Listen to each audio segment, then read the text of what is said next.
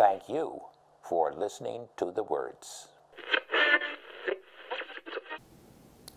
This week's Listening to the Words program begins with a child's first experience of one of those dangerous Midwestern dust storms.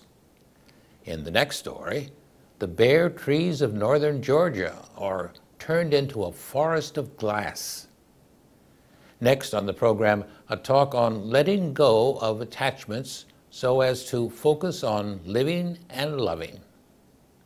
Next, give your smile a quick workout when you enjoy a shell pointer story about what a child got away with in the backyard swimming pool.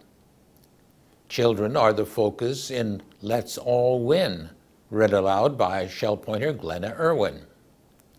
Laugh is what you'll surely have to do on hearing the surprise ending of the next story on this edition of Listening to the Words.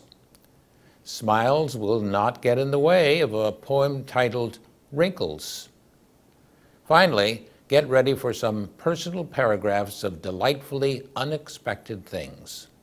David Howenstein reminding one and all that this Listening to the Words radio on TV program airs all seven days and nights this week on Shellpoint Channel 12 at half past most hours except when special ShellPoint programs are airing.